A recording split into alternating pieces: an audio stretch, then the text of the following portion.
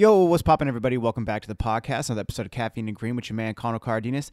And like usual, before we get into it, I just want to give a huge shout out and thank you to my boys and ladies over at Steel Mill Coffee for letting us use the space for the podcast. So if you're ever in Oceanside, head over to Steel Mill Coffee. Go and say what up to all my homies, Anna, Giles, Lil C, Shay, and Riley, and go enjoy an amazing cup of coffee, guys. And on that note, if you haven't already, head over to www.caffeineandgreenroasting.com, all one word, and you can go ahead and check out my coffees because we're roasting now. And that's the Issa blend. And we also got the Tyler Schaefer, the Southside Pro Coffee Bag. It's a limited edition Guatemala Huehuetenango, and it's super, super buttery.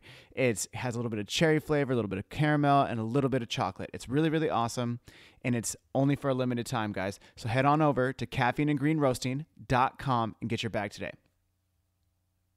My guests today are none other than the long awaited arrival of my boys, Hawthorn Coffee and Compa Coffee Roasters. That's right. I mean, two different companies, but owned by the same man. That's Dylan Remond I'm talking about. And then the return of my man, Jay Freedman. That's right. He's come back to the podcast uh, so many times as Sprocast and just on his own when he was just uh, baristaing at Hawthorn. So, guys, this has been in the works for a really, really long time. I've wanted to have them on the show probably for about two years now. So I was really stoked to have them on. And Dylan was actually unable to make it just because you know with the, the, the the pandemic and everything. We had him on a Zoom call, and then we also had Jay in person at the at the cafe. So guys, please enjoy this as much as I did. And without further ado, my homies, Dylan Remond, Jay Freedman, Hawthorn Coffee, and Compa Coffee Roasters. This is your time to shine, homies. Let's go. Caffeine and green. It's your boy Connor.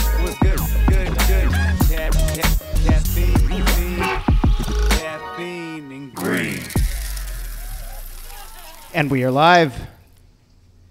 Yes, my man. We got my man Jay Freedman in the house today. What up, y'all? You are back on podcast son. Caffeine and mm. Green, and then we got my man Dylan. Is your last name actually Red? It's Remond. Remond. Okay, and we got my man Dylan Remond in the house. He is via Zoom. This is the first time I've actually done a person in studio and then a person on Zoom call. So this, uh, you know, this is a very interesting time. Just I'm- 2020 things? This is some 2020 shit if I've ever seen, man. I swear to God. But I love it, and I'm really happy that you made it, Jay. Dylan, thank you so much for being here, sir. Yeah, thank you guys. Hell yes. All right. Well, I'm gonna. I you know Jay knows he's been on the show multiple times, just as him, him, himself, and then also with the Sprocast, That's the right. infamous Sprocast. but right. now, sir, you have returned to, uh, to Caffeine and Green now as a roaster for Compa Roasters. Mm-hmm. That's right, Compa Coffee Roasters. Compa Coffee Roasters, and you were also a barista at Hawthorn Coffee, which Yes, sir. is like the parent company of Compa. Mm-hmm. Correct. Well, that's like, I guess you could call it our flagship store. Flagship store. That's like our cafe. That's our home where we serve our coffee. Okay. But our roasting division is called Compa Coffee Roasters. All right. And Dylan, you are Yo. you are the owner of Hawthorn and Compa Coffee Roasters as well? Yeah, yeah, that's that's correct. Dude, that is I mean, this is all beautiful. I mean, I'm super glad that you made it on the podcast now because I mean, Jay has been here so much and like I go to Hawthorn. I don't know if they tell you, Dylan, but I go to Hawthorn honestly maybe 3 to 4 times a week. Yeah, I'd say that. Safe bet? Yeah, Mhm, love it. Thank you. So, love the support. Appreciate it. You guys make some really good coffee. You guys do. I'm not gonna lie. My We favorite, my favorite drink uh, that I get at your spot is a um, coffee with some steamed whole milk and an ad shot. That's uh, the, the red eye with steamed milk. It's Guy comes through, gets those brown drugs in the morning, boy. steezy, son. steezy, loving it.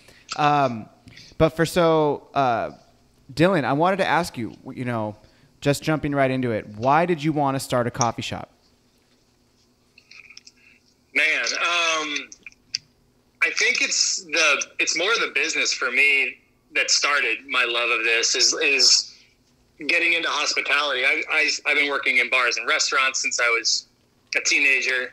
Um, you know, over 20 years now. We'll let you do the math on that one, but um, yeah, it's it's something that I've just been doing for so long, and I loved. And I tried to get out, and do you know grown up job or whatever you want to call it and i always found myself drawn back to this business drawn back to hospitality and it kind of just landed at the same time my opportunity to do this business when i fell in love with coffee it all just like collided um, so i knew i wanted to get back into hospitality after leaving and i just found like specialty coffee at the exact same time it was like the perfect storm of all things happening, you know, that, that, that was perfect. So, um, yeah, it, it, just, it just worked out. Uh, I love the art of coffee and I just love serving people. So it just, it collided for me. That's tight. What, you know, my next question is why Hawthorne? What, what was the, the, what do you, inspiration behind the name? Just, just, just oh, the name. Yeah. Um, well, as, you know, you guys know, I'm sure that there's a billion coffee shops out there with a billion coffee shop names. So obviously, naming a coffee shop isn't the easiest thing in the world. But um, you know, we went through a lot of different ideas and back and forth. And Hawthorn is actually after the Hawthorn tree, which mm. You dig around on the internet and you found we found some. You know, I'm Irish, so it was some Celtic mythology that my my the month I was born was the tree that represented that month was the hawthorn tree. Just like you know, I'm a Gemini, the same thing. So did some research about the hawthorn tree on top of that, and it was you know it's really cool. It actually kind of looks like a coffee plant, weirdly enough. And nice. you know, it's got red berries and green green leaves and all that stuff. So it just kind of fell into place the same way. Rad. That's super mm. rad. Yeah. Wow. Okay. The that the, the whole tree logo makes sense now when I look at it because yeah. I didn't know that that was why you guys had the tree as a logo.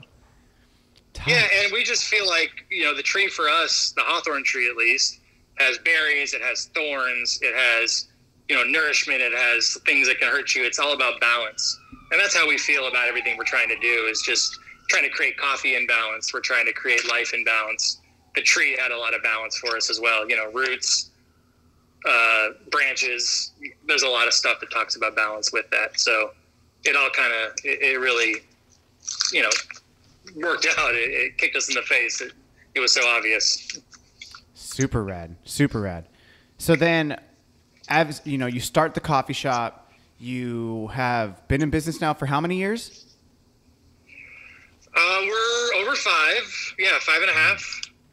Almost six. Yeah almost six years, and you just started roasting this year, 2020, or was it 2019? Uh, no, I mean we started roasting uh, at the very beginning of 2019. Oh, at the so beginning of 2019. Oh, but really, like getting, I wanted to get, you know, I wanted to get really proficient at it before we had introduced ourselves to the world. Um, you know, I take what we do seriously. I didn't want to just chuck it out there, uh, you know, right off the bat. So we spent a lot of time roasting and screwing up and tasting coffees and trying to figure it out. Um, oh, I love that. I love that. I love that. it's been, it's probably been what, you know, I don't know, Jay, what do you think? It's almost a year now full on that we've been serving our coffee exclusively. I would say it's been about a year since our coffee's taken over the bar at Hawthorn. Yeah. Damn. Yeah. I, that's so, I mean, why I say I love that too is because when I was doing caffeine and green or just doing, you know, starting caffeine and green or doing any coffee shop, that I used to work for. When you're trying to find your spot, especially when you guys are just learning how to roast from jump, no mentors, just going right into it, like I can't, I can't even imagine it's so hard. It's hard when you have a mentor, and then to, but the best part about failing is messing up and actually learning from the mess ups and being like, this is what this tastes like when you do this, and this is what this tastes like when you do this, and airflow and uh, like flame and all these other things. It's super exciting. Like I, I almost love it more than getting good at it. It was really cool for yeah, us. Yeah, I mean, just, go ahead, Jay. Sorry. It was cool for us because I think we had been serving coffee for so long that roasting coffee kind of seemed like this far unreachable thing and I didn't necessarily grasp the concept even though I was part of a podcast with other coffee roasters I would hear them use certain terms or say certain things and I wouldn't quite I wouldn't quite grasp the whole thing. So when Dylan came to me and said, you know, we got to start roasting. This is naturally our next step, and let's get into this thing. Let's truly understand what we're serving. It was an opportunity for me to hear all of those terms and to put them in play. And furthermore, I think in 2020 it's easier to learn about anything than it ever has been before. Yes. We've never had this many resources. We've never had this much time on our hands to go online and to learn these things, to read these books. Um, I'm super thankful that not only did Dylan apply himself, which helped me learn because you know if you're next to somebody applying themselves and you apply yourself, then you both are learning together, and that's super fun. But then we could bring the coffee back to the shop. We could taste it, what we liked, what we didn't like, and we could have conversation on why it tasted that way and what we should do moving forward. And since we spent a few months R&D, R&D, R&D, by the time we were actually serving coffee on our bar, it was something we were proud of. And like to translate that into a conversation to our customers of like yes we're roasting our coffee. And by the way like it's pretty damn good. Like tell me it's not. And like that whole that Tight. whole uh, time for us was super fun and super explorative and super proud and very validating is the word. Nice, dude. I, Yeah, I just to add on to what Jay said, like we've, I mean, we've had the good fortune of working with some awesome roasters coming up. And just when we were serving coffee and we were a multi roaster doing other things, we got like really good mentors ahead of us or people that were, that showed us the way. So when we were trying to, you know, we were figuring stuff out for ourselves, we really did a lot of, you know, we did a lot of it on our own. We read a lot of books. We, roasted coffee, screwed it up, like we said, and we always had like a good place to. We're like, hey, we want to be here. We want to be doing this. We want to be roasting it this way, and we always had like a, you know, a place that we were trying to get to, and I think we got there. Yeah, no, And, you guys know, are- I love it. I love yeah. what we're doing. I definitely would agree that you guys. I mean, I would say. I mean, this sounds like such an Elliot thing, to, Elliot thing to say, almost. But it's like you never, you're never really there, but you just start to Oh, for sure. understand. You know what I mean, dude if It's- i'm there at 26 i'm not doing the right thing dude, no, life. it's it's so much exploring, and it's man. like tomorrow, for example. If I could share with you guys one thing that I'm really excited about, so I have like I'm always thinking about the next coffee that I'm gonna go out. So I got four samples, but they were a pound each. It's big samples, yeah. So Right. I'm roasting these samples tomorrow on like I'm doing like eight gnarly batches of samples. Cupping them on Thursday, buying the coffee on Friday, and this is like I'm basically gonna get the coffee, and I'm thinking like January it's gonna come out. So it's like this is a, a big process, but you're starting the process and really digging into it. And the again, this goes back to what you guys were saying about like you know screwing up. Like, dude, I cannot wait to fail and like, oh damn, like I, I fucked this one up, you know, or like, oh this one tastes fire. Like, oh I, I did this, I did this. I look at my notes, and then I start to take more notes, and then start to analyze these things, and it's figuring out that process and how to unlock that like uh, secret code or like uh, unlock that that I don't know unattainable goal almost because it's like it's so exciting. That's what makes coffee there. It's like when you say you like uh, you've kind of got there. It's like you've got there now. You understand it, but now there's a whole new world to explore. You know what I mean? It, does that sound kind of like? Well, that's what's. Oh my God, that's what's like. That's what it is for us. I mean, that's what. That's what. That's why we really sunk our teeth into roasting. Is that. You know, when I say we got there, I, I didn't mean like we're there, we're done. Oh I no mean no that no no We yeah got to a place. I no, I, I really meant we got to a place where we feel like we're mildly understand it, you know. Yeah. And we're just we're just gonna fire ahead from here, and like even every day it's different. Every I mean that's that's the beauty of it. Every coffee's different, but even the coffee you bought, you got a big old bag of it, and you're roasting it for the next month. yeah Every month, every week, it's different. So that's the, it's you keep trying, but it's, it's like you said, it's that unattainable thing that you're just you're grabbing for that ring, but you know you probably won't ever get there, but hopefully you do. You pull that perfect shot, you roast that perfect batch. It happens every once in a while, dude. and that's what's beautiful. I have to agree on that roast that perfect batch. Like I wish that could happen. I mean, I think I'm like I feel very privileged because I get to go to the roastery and see it green. I get to cup it on the table and then I get to roast it and I get to understand what it's going through through the roasting process, watch my curves, taste it week to week, see my logs. But my job is unique in the sense that I'm also on bar like 5 days a week. So as far as my coffee being served to customer, as far as me seeing a physical reaction in eyes, in face of customer drinking coffee, coffee nerd or not, I get to see it. Yeah. So I get to see it roasted. I get to see it brewed. I get to taste it from start to finish. And I mean, I'm not naive to the idea that there's further steps for me to take on a botany level where I go to the farm and see it as a plant. I could see it as a cherry. I could see it Yeah. processed. And now we're getting all these different coffees with all these different processes from washed to natural to these this fermented Peru that we have right now. And understanding all of those processes is its own ball game. Mm-hmm. And then also trying to take it back to the cafe level and trying to make cocktails and try to make syrups and try to like mess with that whole thing. Coffee is just like this never ending Rolodex of little things that you can master and hone in. And I love it. Dude, that's damn. That's kind of crazy because I, you know, being this is like a super coffee thing to th- talk about, but one of the biggest complaints is like between roasters and baristas and not understanding. They're like, you know, you need to be serving the coffee like this. We're like, oh, I'm doing it, you know, this gr- many grams in and this, this, this, and like then you have to, then there's dialing in the whole espresso machine, and that that could even like mess up the taste of your coffee. So it's like, you. You're kind of in a very unique situation, much like um, Siri Simran Yep.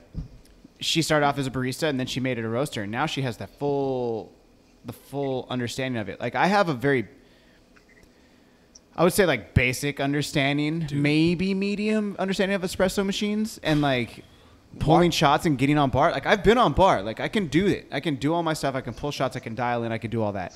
But like to what you guys do or even Siri Simran when you guys are pulling like crazy latte art but then you can also roast coffee now it's like yo this is that's next level. Being on bar is where I'm most confident. I think that uh, Dylan is a big proponent in that as an ex bartender himself, and I think he's kind of catered Hawthorn towards a bartending um, kind of a bar flow there, for lack of better terms. But that is where I'm the most confident as far as like, yo, we have 20 tickets, let's bust out drinks. That's so much fun to be in the trenches or like whatever the hell you want to call that in the trenches and like uh, other people can correct me if I'm wrong, but as far as like the roaster to barista miscommunication, a lot of that, from what I hear from other companies, it feels like a lack of responsibility on everybody's part. It feels like the roaster is blaming the barista, the barista is blaming the roaster, and then there's just this lack of there's like a miscommunication.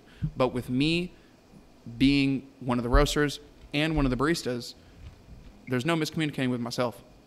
And Yeah. like I can talk to my baristas and hey, what do you like? What do you not like? Let's talk about it. Do we have any complaints? Is is our batch coffee too acidic, kicking back the milk? It does the espresso need to be more acidic? We need that shit to pop.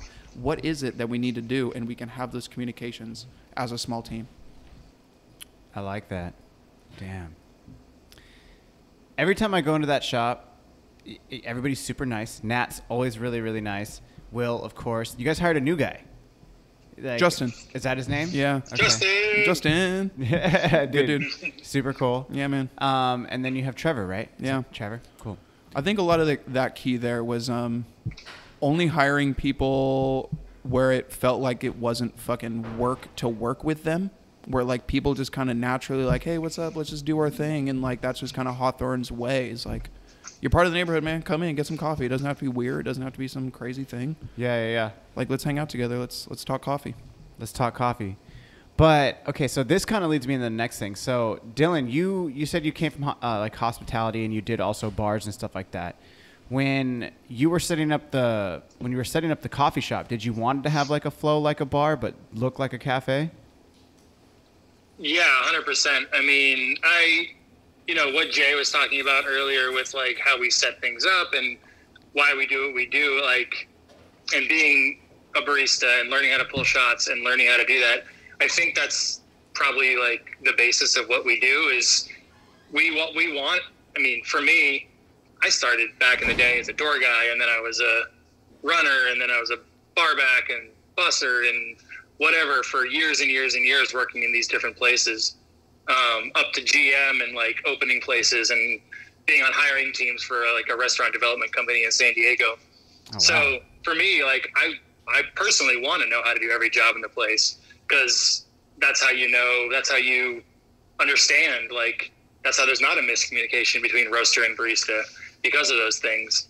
And having that, you know what the person on dish needs, you know what the person running food needs, you know what the barista needs. So when we set up, we taped out the floor. We stood over the floor like with the tape there, practice pulling shots as I was like standing in an empty cafe or empty it was a hair salon before we got it. But That it was a an hair. empty Hawthorn was salon. hair salon. It was like a I don't know. It was like yeah, they had there was I think it was like a barber shop or hair salon or I don't know what they did there, but yeah, it was definitely not set up for what we're doing. Okay. Okay. But yeah, we just I just I taped out the floor. We set up nooks. We I ran through like making a drink fake with tape on the floor, standing there to see how it felt. Um, you know, I think when you are deep and you're running like a bunch of drinks, the, the wasted movements is what turns a you know a cocktail or a cocktail or coffee from three or you know three minutes out to seven minutes out and you know, it doesn't need to be like that. We can make amazing coffee and still do it fast. That's there's nothing stopping anybody from doing that. I like that. Damn. So, I actually just kind of lost my train of thought, dude. Oh, that's what I wanted to ask you. That's uh. So, when you talk about learning every position and um, or learning every position, I guess if you would in the cafe, uh, I only see you and Jay at the at the roastery. So, who's Jay your head roaster or are you the head roaster? Um, I mean, I don't know. We don't. I don't want to really put labels on anything. I'm not like about that really. You're but just a roaster. you know, I, I, I, I've set up. You know, I, I've done a lot of the research ahead of time. We're in a weird time with with COVID, obviously. Yeah, definitely. So we're not, uh, you know, we're not running normally where we would have more people there doing different things. But um, yeah, I guess you know, I I set up the pace. I set the pace on this. I started doing the research ahead of time. You know, I'm setting up curves, but Jay is taking on, you know, that space and roasting more and learning more about it. And Sick. you know, I, I I don't know. We're we're a small company, so there's like two of us. Yeah, no, so that's for tight. me, it's you know Jay's Jay's jumped in full and he's taken on learning everything about this business, which is invaluable as far as like having somebody to work with.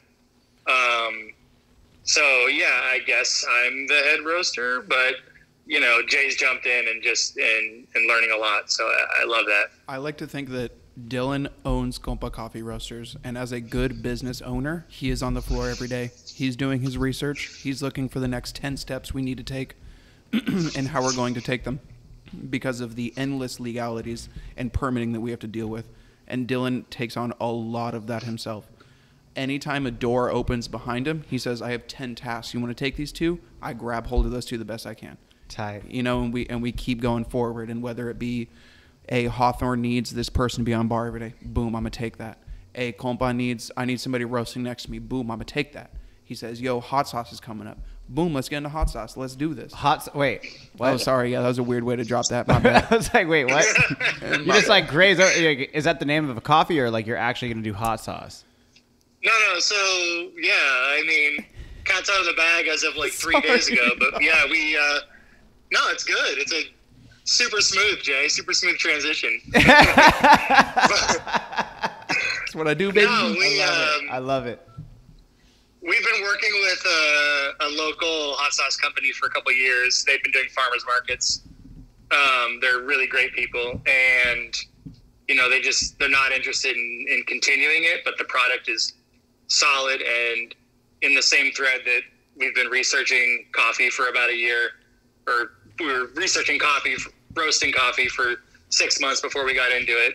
We've been researching hot sauce for six months now, and we've been making it, and we've been running different test batches of it, and Yeah. we ended up announcing that we bought this hot sauce company last like three days ago. Mhm. So it's Baby Clydesdale. Check it out. Um, Dude, that's what that thing was. I was like, "What is the baby Yeah, man. Clydesdale that you sent me?" I was like, "What is this?" It's hot sauce, like- bro. I did not know. It's a hot sauce company that um i- it's awesome because we've been serving it on our toast for so long and I think it's got that cross promotion this entire time where we're like, "Hey, this is our pesto." And people are like, "What is this crazy vegan pesto that y'all got going on?" And now we we went and bought the company and now we can delve into the again world of hot sauce. As he said, like we spent 6 months Imagine coffee. You spend six months learning how to roast coffee. Yeah. Bro, hot sauce is that in depth, if not more so where like people are there's farms of peppers and you combine these different peppers and make these different sauces let alone what the word sauce and like the five mother sauces and then the whole rabbit hole you can go down on sauce that we're just delving our little head Just into, getting you the tip, just Yeah, like the tip of the iceberg. bro the rabbit hole I is deep. guess. I, yeah, I mean, I guess for me, like to get outside of uh, you know our coffee vein on this on this you know chat, but yeah, I think that we're about just we're about providing an experience, and be it hot sauce or coffee or tacos or smoothies, if that was our chosen path we're about we want to connect with people and we want to have that you know that moment where we make people's days better um, we want to leave people i have a personal ethos a personal message for myself which is just you know positively affect the people around you so they can positively affect the people around them. And i just if i can if i can reach out and just like give my buddy a pat in the back and it makes his day better then who knows what he's going to do that day. So if we can do that for people every day, if we can do it in hot sauce. We just want to find things we're passionate about that can we can inject that into moving forward, and that's that's the crux of what why we why I do what I do, and you know. I, I definitely know Jay's jumped onto that and feels that, For and you know we're 100%. we're rolling with it. yeah man i sleep better at night if i made somebody's day better that day I like that. I, I mean, that's it's not hard bro no, it's not hard at all. I mean, uh, have you seen that meme? And it's like I don't know if it's the same guy or like maybe just multiple people have the hoodie, but it was like, "Hey, you, person behind me, you have a great day," and that's what it says on the back of his Yeah. hoodie. it's like just those little things those man. little things, man. I mean, it's really easy. Like, I personally think it's easy to do in coffee, and I understand like not a lot of people are social, and some people are, so it's easier for people to fit in that way. But again, just like Dylan said, man, like there's a million ways to make somebody's day better, whether it be hot sauce or coffee or serving food at a cafe. Like, however it is you find yourself doing it the easiest, like getting where you fit in. And like, if I can make somebody's day better by serving fucking coffee, then I'm gonna serve coffee. yeah, It's just that easy. And hot sauce makes a lot of people's days better. I agree. just like for us, yeah. I mean, on top of that, it's how many stories have you heard about? I don't know. I mean, I, I heard someone talk about this the other day, and this is you know kind of random, but it's just somebody said like it was a famous person, and they were doing you know, an interview, and they said, "Hey, this guy came up to me and said." Because you said hi to me in the hall, it made my day. It turned me around. It whatever, you know, the little things we do every day, you have no idea how that's going to affect somebody else.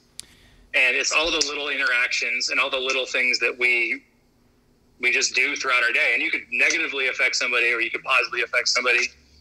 And you might as well positively affect somebody. You might as well take that opportunity just to like you have no idea. That little thing you did, that you said hi, you waved to someone, you served him a dope ass fucking coffee and a great toast with whatever. You know, it doesn't matter what it is, but you put your heart into it and you showed somebody that, you know, the world is good today and they went on and had a fucking better day. That's all that's all it is.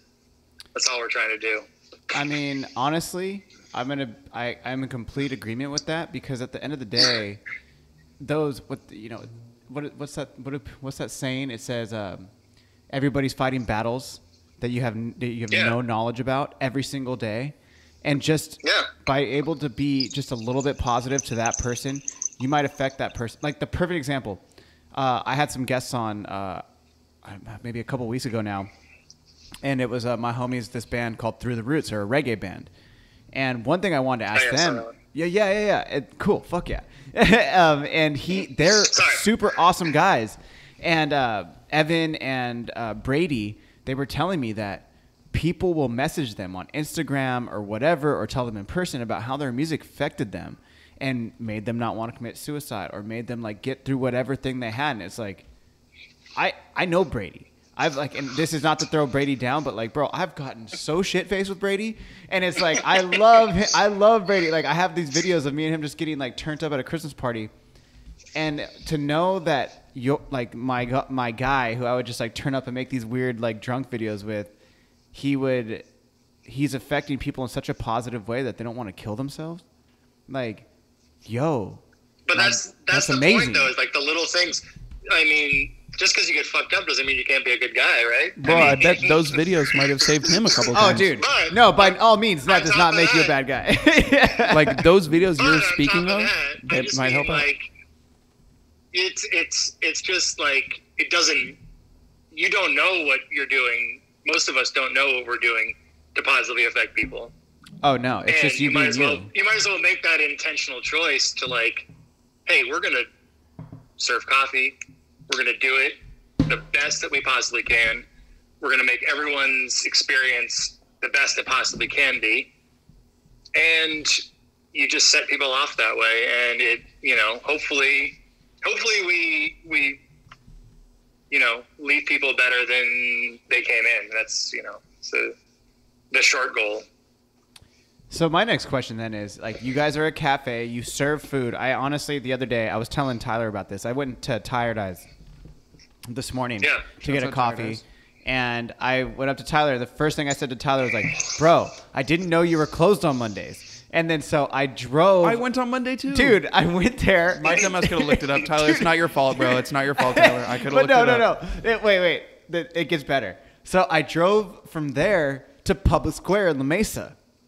They were closed. Oh, they're closed Monday. No Yeah. way. Dude, dude, I shit you not. And then I went to Hawthorn and I was like, I swear to God, if Hawthorn's closed, I'm over it. Hey, we're open Mondays Dude, just to I- open yeah. doors. Dude, Mondays sh- are a good day for us. Come by Mondays, everybody. And I thought Mondays that I thought Black Market was closed. So I was like, okay, cool. I'm just gonna one stop shop it at Hawthorn. I got Hey, a, I got the brown bag. Any day, people, seven days a week, seven Yo, to two. Y'all yo. can one stop shop Hawthorn Coffee, 3019 Adams Avenue, baby. Come on by. mad plug, mad plug. We got pastries, we got toast, we got paninis, we got coffee. Dude, the brown bag is fire. The brown bag is that's what I'm saying. yo. I got the brown bag and I got my drink and then I went home and then I drive by, I see Black Market's open. I was like, what the fuck? It's just meant to be, bro. You're meant to one stop shop at Hawthorn. As is every listener of this program. You, You guys are meant to one stop shop You at had Hawthorn. that. You had that brown. You had that brown bag. That means you had our uh, baby Clydesdale spicy romesco. so buddy. you Did know. I Yeah, unknowingly? you've tried the Coming up. sauce. You've tried it. I got lost in the sauce. Hey, bro. It happens, it happens to the best of us. You know what I mean? I've been getting lost in sauce for a couple months now. Dude, if you get lost in the sauce, you know you might not be the boss, but you know, but maybe the sauce Some is of the us boss. are the sauce bosses. That's how it is. yo, yo, okay, okay. So that's another thing that you guys do separate from the pack in terms of specialty coffee. Mo- I don't. I mean, there's C- Cafe Calabria. They make like pizza, right? Uh-huh. They make other things, but you guys, you guys have like a very extensive cafe, but you also now roast your own coffee, and now you're into hot sauce. Yo, so like, I mean, the cliche question is like, what's next? I mean, honestly, I think that Hawthorn has taken on from the jump, like all of our syrups are house made, our chia puddings house made, and then we started doing sauces in house. Um, I mean, we were always making our granola in house. Like, in house is such a kitschy term, but like what it means is we take pride in studying about the product and making it ourselves. We can outsource any and every ingredient, but to do it ourselves shows pride in what we do and why we do it. It shows responsibility that I can go out and like I fucking know what chia pudding is, but we still went out and studied it, but we still went out and learned it. And we Yeah. still tasted things and created a recipe and went from there. Our chai is house made, so naturally our coffee is house made. Then our hot sauce is house made. And who knows, are we going to start baking bread? Are we going to start making pastries? We're, all of these conversations have come up, and if the door opens, we walk through it. I like that. But you guys still do it out of your main location. I mean, the next, uh, the I mean, next dog, natural dog, step. you want to be give us a location? I'll do it out of there too. Dude, bud, I'm but- just saying, it's like the next natural step would to be like evolving into a bigger space, especially with all the new things Yeah. that you're doing. Yeah. Yeah. No, we've we've uh, you know just everything out there. We've been like looking for something for a long time, Mm-hmm. And there's been different. I don't know. I, I don't want to say like iterations of this, but there's just been different like versions of what we've been looking for, and thankfully, I, I'll say that none of them worked out up to this point. Mhm, I've absolutely. been really my. Thankfully, I have people like Jay and Nat and people like you're talking about. Everyone at the shop that has taken this on because I've been spending the last couple of years looking for expansion and trying to do things. And just like we do with everything else, we're trying to be intentional about this. And we've looked at spaces, and I've spent months and months negotiating things and making sure it's right for us. And things have fallen through, and it's, you know, it's a kick in the stomach half the time where I'm just like down as hell and damn, this didn't work out. And, but obviously, it's all, we wouldn't have a hot sauce company if any of those other mm-hmm. things worked out right now. And I think this is pretty cool. Mm-hmm. I'm super about this hot sauce company right now between the roasting and all these other things that we're doing. And we're currently looking at a place and hopefully it works out and we'll see. Like, I'm not going to get, we're not going to get wrapped up in being attached to a path because, hell, it's 2020, right? You know, you never know. So, Well, all yeah, the things I, mean- would have done up to this point, we would have been super fucked by For sure. by if I took any of the other places that we would have like been sure. after the last couple of years. But yeah, I think you know we are we are talking to somebody about a space right now. So just to get into like what you're talking about, but um, we'll see. Like we want to be flexible. We want to do what feels great and what what makes sense for us. No, that's awesome. I mean, I respect that completely. I mean, especially now you're going into your sixth year as a business. You have a success, uh, very successful cafe. You have a roasting business now that's separate, and then now you're also going to be doing a hot sauce company. Like, damn, son. I Talk mean, about honestly, bro, like I think you can move into any house, but that don't make it a home. And Hawthorn is home to us. And if we're gonna open a second business, it can't be lacking. Can't be anything less than Hawthorn is. you definitely can't be caught slipping. That's what I'm saying. So the next one has to be home times two, times five, times ten. It has to be us. And a lot of people like work their ass off to walk to get an opportunity to walk through certain doors. And we just do us. We keep grinding. We stay motivated. We just keep doing our thing. And then if doors open, you fucking you thank your stars and you walk through it, bro. Like people want to see you do well. People around us want to see us do well. We notice this. And as long as we keep doing us and keep trying to make everybody's day better, opportunities will keep coming our way. It's popping. Just keep your head in the trenches, keep working, keep going, keep a smile on your face, and make sure the people next to you are doing good too, and good things will come. I love that. Yeah, I, I think it's you know to add on to him, what he, it's just a uh, get your like mission and you have a clear mission and your cle clear values for your business, and don't sway from that kind of stuff. Even if an opportunity comes that seems like it should work and seems like it should be the thing, we've if we've done anything well, I think it's we've done that well. With we're we're, we know who, what we want to do, we know who we want to be, and we're not gonna like throw that away for something that maybe shiny and flashy and like make us look good, but it doesn't fit with what we're trying to accomplish. And I think that's you know that's why we haven't expanded at this point. And don't get me wrong, like I was cooking hot sauce on like a couple stools yesterday on a hot plate Yeah. by the back door and like you know yeah i'd like to have a fucking kitchen right now and we're trying to make that happen but we're trying to also just keep our vision set and like make our decisions very intentionally Hey, I'm mad respect, Dylan. I respect the fact that you're just talking. You know, I wanted to like, I kind of made a mental note about this, but like you were saying how you know you would be down and out about things, and definitely like you know, starting my own business, and I I'm in a 2020 coffee roasting business. I'm an e-commerce only, as you guys know, but I hustle fucking hard with that shit, and I try to put it out. But dude, some days I'll just be down, and like I wanted to ask you about that. Is that as a as a as a business owner? how do you i mean obviously you just keep grinding but you were like you said something very important like you be down and out i feel like a lot of people only talk about success like let's talk about like those days when like dude it fucking kind of sucks like uh, just a little bit just a little bit i mean i'll just say that i mean but at the same time i also I'm gonna- wanted to i'm gonna double down on that and say it sucks more than it doesn't but oh wow the successes, but the successes are so Worth it. it's so high, like it's so you. Mhm. Like you can get kicked thirty times, but you get up that one that thirty first time, and you do it, and it's what you exactly what you wanted. That's that fuels you for the next three hundred times. That's what's You know? popping. I love that's what that. that's that's what it's really about. For I mean, mm-hmm. yeah, I don't. Failure is not even like a word. Like I know that's like a cliche or whatever, a trope, but it's that's just it, failure is when you stop, right? Mhm. yeah, when you quit. Not when you quit, when you stop doing it. Like we've been knocked down a million times. I mean, Hell yeah.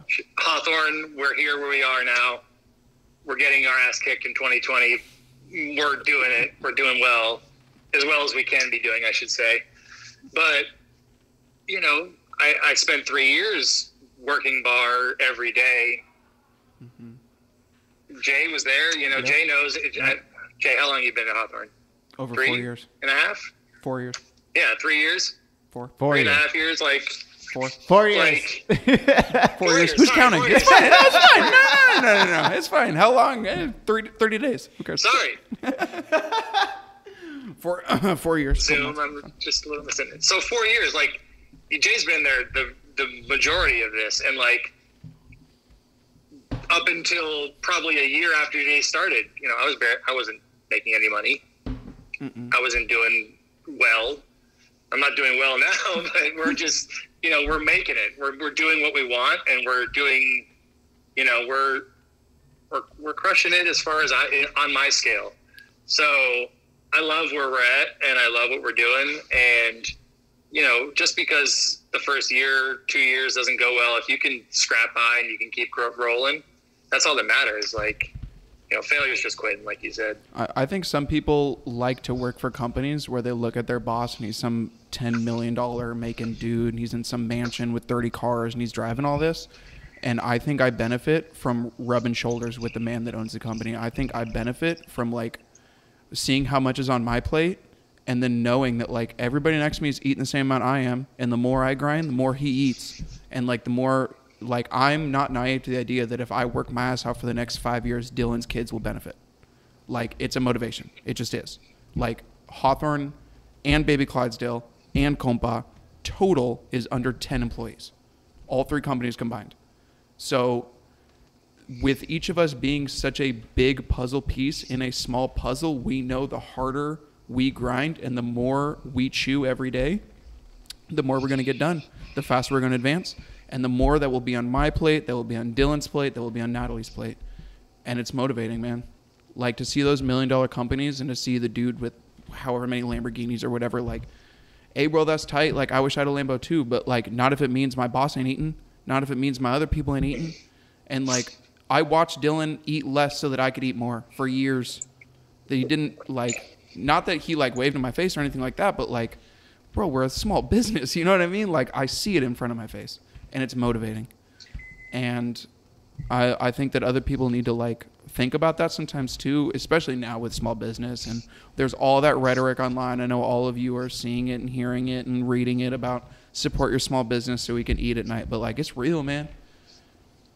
Caffeine and green nose, Dude, caffeine and green. Yeah, like I was, I was talking about this before the podcast. Like, I swear to God, bro, if I didn't have Steel Mill, I wouldn't be able to do caffeine and green just by itself. I mean, I do a lot of stuff for caffeine and green by myself to generate what I'm doing. The fact that I can even do that to gross, like, dude, the first time I made a thousand dollars off the shit I did. I mean, it, granted, it didn't pay off half the debt that I accumulated while I was trying to do it, but the first time I made a thousand dollars off of caffeine and green off of what had happened. And that's not to throw out a number because that number is not big but i was so fucking hyped bro. I was like son like i was like I had like a little mental pep talk. I was like are you serious right now son? You just made a k. Your first thousand dollars.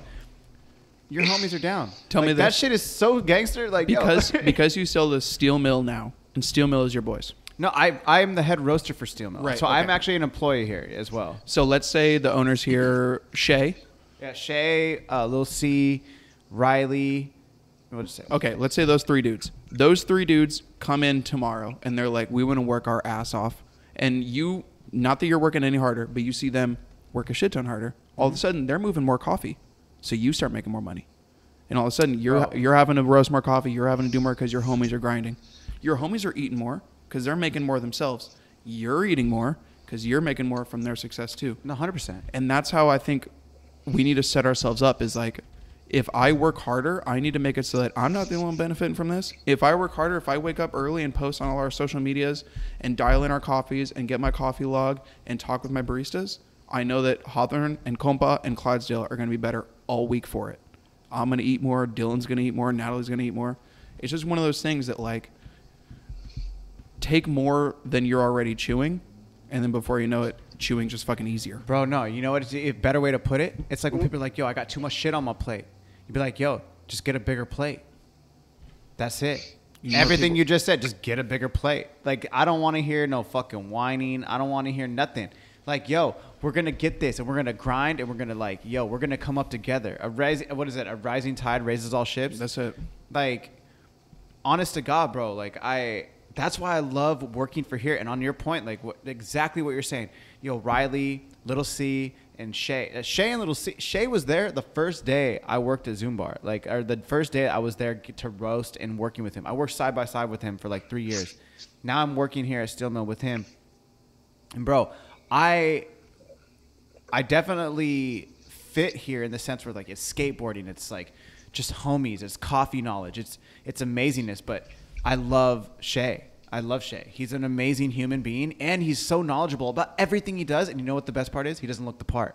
So it's like I want to see him succeed, and when like I am able to be that that that piece of the puzzle to help Riley, help Shay, help Little C get to this point where they're succeeding, bro, it's exactly what you're saying. Like I want to see my people eating. They're my people. Like yeah, I have my own thing, and they, dude, hundred percent. Anybody else could be like, nah, we're not gonna let you do your own brand because it's competing with our brand. It's like, son, nah. Shay's like, we love that you're doing what you're doing. Keep fucking doing what you're doing. Just do Steel Mill too. And I'm like, bro, I'm hundred percent down for Steel Mill. Like, I'm, I'm here, bro. This is where I want to stay. Like, if I'm gonna work for anybody else, I'm gonna work for my boys. I'm gonna I'm gonna remove one aspect of this just for fantasy purposes. Here's where being a good friend and removing yourself from the equation enters. Let's say Steel Mill comes to you one day and they say, "Hey, we want to move in a different direction with our coffee program. We're gonna go with this roaster." Yeah. You're going to be a brokenhearted. B, you're probably gonna be pretty sad. But C, you're gonna stay motivated for your homies, and you're gonna say, "You know what, bro? Like, you feel what you feel. You're an adult. You get to make your own decisions. I still want to see you grind and still see you achieve Always. and still all of that. Yeah. It, I like in this in the same respect to Hawthorn, I am so grateful, endlessly thankful for the over four years of opportunities that have been given to me. Every day, those opportunities could be taken from me for any number of reasons.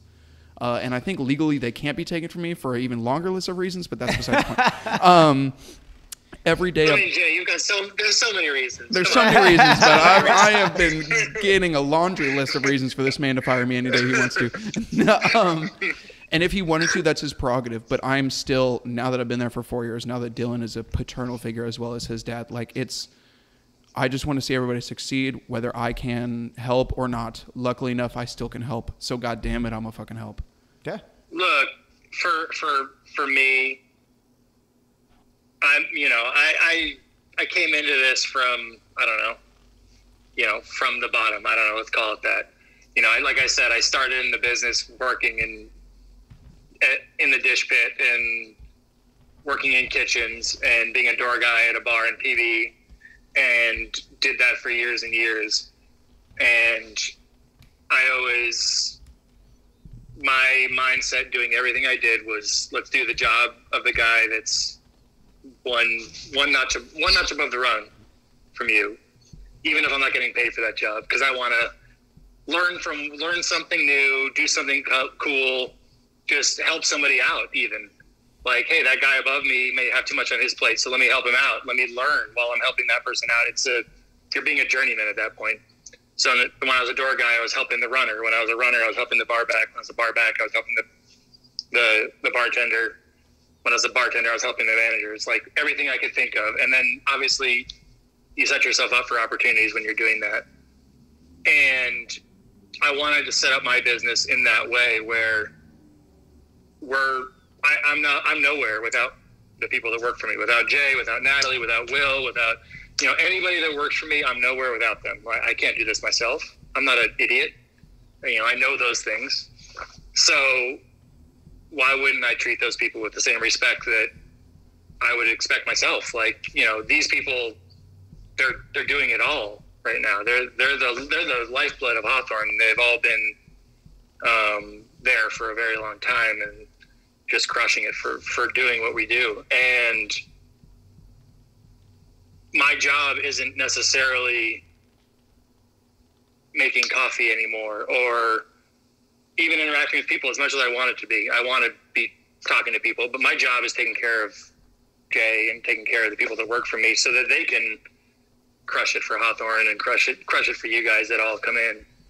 So that's that's my mindset going into this and I always want everyone to like you know, the pie gets bigger and we're not gonna like keep the one little piece for everyone that set you up for that. That's ridiculous.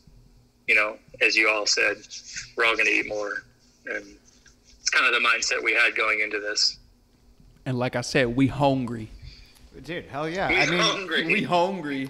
I mean, you got to stay motivated, but at the same time, it's like, and this is, I think, might be a really interesting. I would love to hear your guys' perspective on this, especially because you have a cafe and you have a team of employees now that even in the lockdown, you're still able to support. So that being said, how do you feel that coffee, the coffee business has affected you with COVID? I mean, now we're in a second lockdown. You guys have this cafe. You have three businesses. How has it affected you? Like, how how are you guys pivoting? How are you guys really staying above water? But because you guys are essential, deemed essential workers. I am able to still Sure. roast coffee as an essential person. Man. That's what I'm saying. Like, yo, what is this? That's some 2020 Bro, shit. I think we can all say. We are essential. We, We are, are essential, to the lifeline of the country, son. All right, Dylan, I'll let you take that one. but You go ahead. right. Um. God, how are we? Have, we we. You know, people ask. We talk about this. Like, how's your week going? How's your month going? How's your year going? Whatever. It's just you wake up the next morning. You just figure out what you're going to do that day because it changes every day. Um, we're very committed to the safety of our employees, the safety of our of our customers. We've been so since day one, and you know we've made adjustments to our service model, and we're not going to steer clear of that. And yeah, it's hurt our sales. Obviously, I mean, I'm not going to say it hasn't. It it would be great to be firing and have a full cafe with people chilling in there every day on, you know, Oh, on dude, a. Saturday, I have 25 people in my cafe that probably only seats 10. Bro, But- you're working that shift. I'm not. I'm not being in the cafe for that nonsense. Oh, We would love to have that happen again, and we would love to be back where we were a year ago. But we understand what's going on right now, and we're just we're we're adjusting, and it hurts. But at the same time, like COVID kicked me in the ass to make us get our Com- Compa website going. hmm and to make that something that we prioritize for a little while. And we were dragging feet trying to make the website happen, and it was we were building it and blah blah blah. And then you know we've been roasting our coffee for a little while. We were selling it in the cafe. It was something that we were building at the time, but you know perfection. You know we were being perfectionists and trying to like make it perfect before we fully launched the website, and then COVID happens, and we're like, oh fuck, we just got to go. We got to start selling some coffee so that I can eat. Yep. so, Yep. so we launched the website. Wow. We made the website happen, right at that point. Quick, so, you know, there's there's good things and bad, obviously, that comes with every situation, but we're in a hard time. I just hope that we can we just we can keep with our path and we can keep pushing ahead and stay focused continue to provide the best experience that we can provide. And we've done that. We've made adjustments. Every month we make an adjustment. We're going to do this different. We're going to set up a little we're gonna build a stand out in front of the shop now so that we have, you know, we're not gonna pretend like this is going away in a day.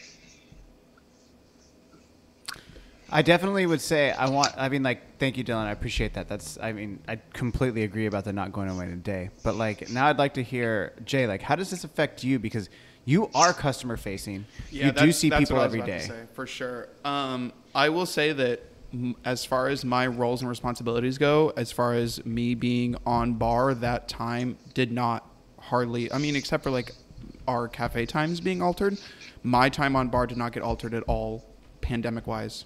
I was on bar just as much, so I got to see the mental state of the customer base go through the COVID waves and like for me, I I'm still working. Like my social bar didn't change at all. But for all these people that had to now they're at home and now their only social interaction is the five minutes they're interacting with me at Hawthorn.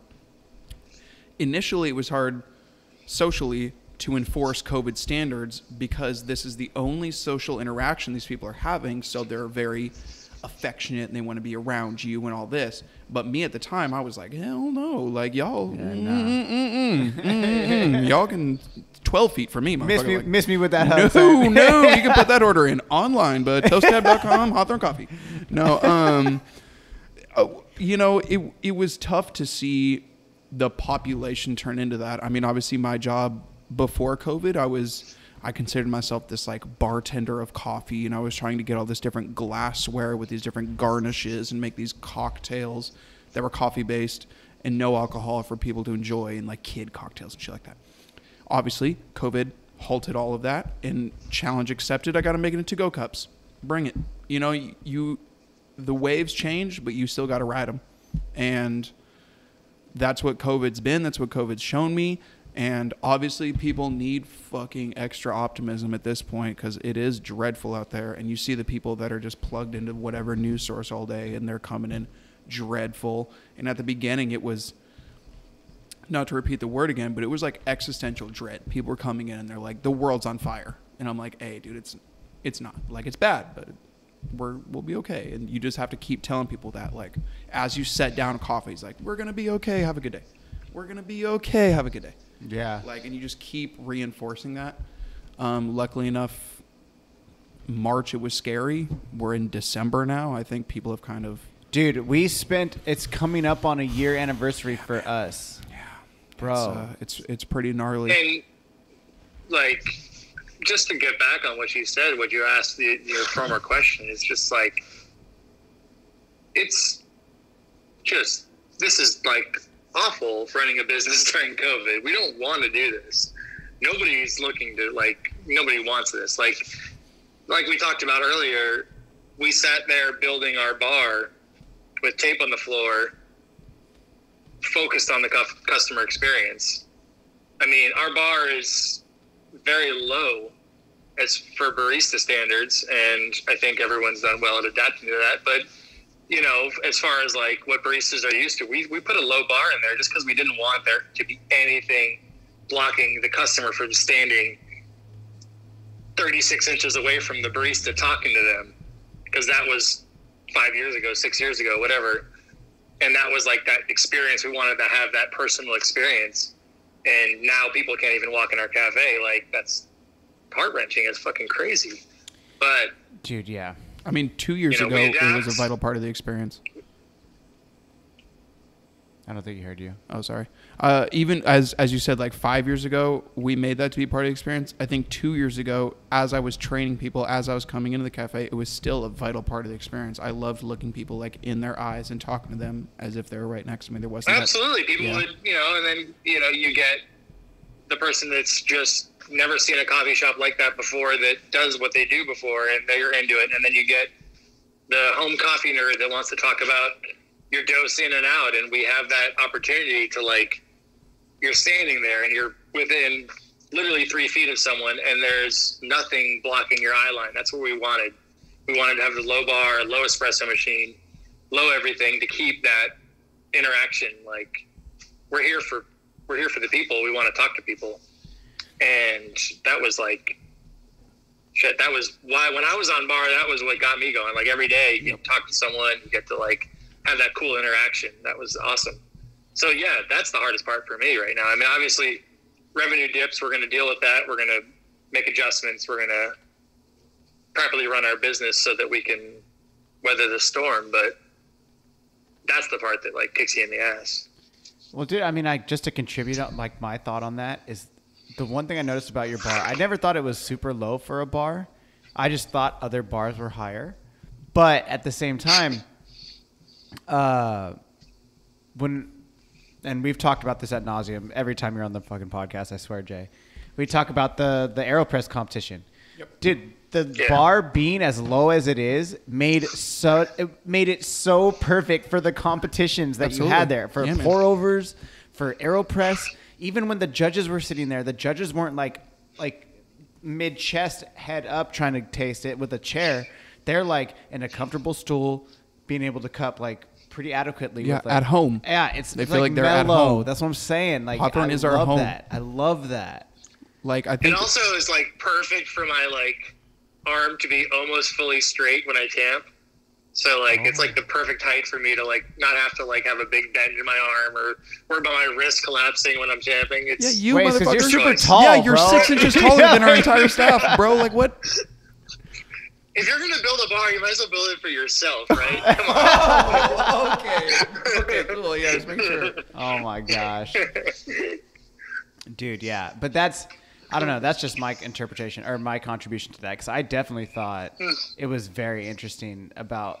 It was perfect. It was perfect for competition. And that makes me now that I'm thinking about this, I'm glad we're bringing it up because that makes me sad because that competition specifically, that Aeropress competition, Dude, there was so many people in that shop. Everybody was like crowded together. Siri Simran had Pablo walking around. Bro, all those competitions like- at all those coffee shops were that way. And again, to like reinforce, I don't think enough people are saying like we're gonna get back there.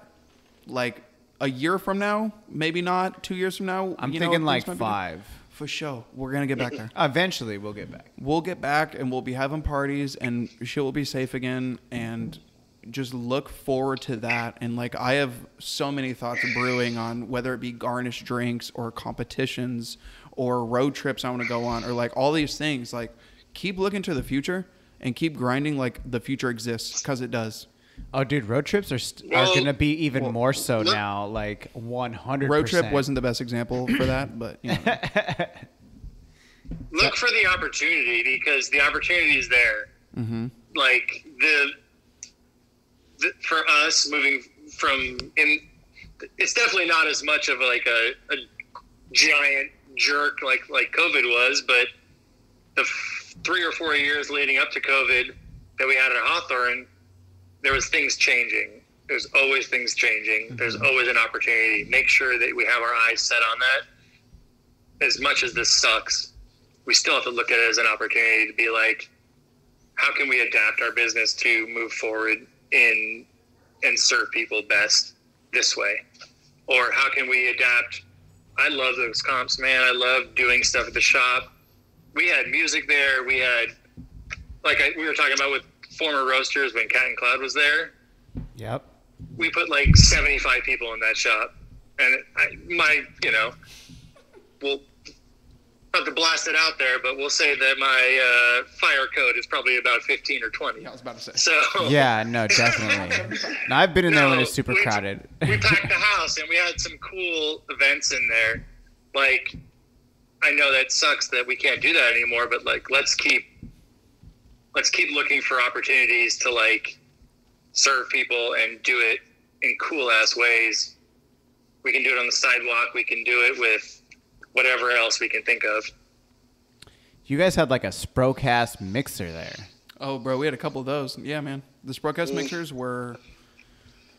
That was supposed to be like a run of events too. We're supposed to do I a bunch remember. of those. Yeah. I remember. Mm-hmm. Dude, there was even talk when me, you, and Siri got together last year Oh fuck, I remember that. Talk about too. like the competition that we wanted to put together. right, little For the cocktail comp. podcast. Yeah. Damn, that would have been sick. Bro, don't. I mean, it'll be sick when we do it, but like, I still I haven't forgot about that. I still think about that hmm, shit. Write it down, bro. I, dude, I don't need to write Yeah, it down. It's all in there, G. I it's it's I didn't forget. Every time I see you, I think about it. I'm Also, like, there's going to be more AeroPress comps. Like all these things, we're still keeping in mind for the future, including Sprocast. Like, I think right now it's it's important to take that time and make sure that we all take our steps to make sure that when we come back together, we can all still come. Do you know what I'm saying? Like after I know, yeah. Pause.